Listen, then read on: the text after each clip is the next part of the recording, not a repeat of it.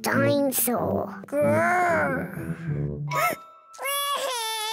Oh dear, George is scared of his own reflection. Oh, silly George. Look, it's you in the mirror.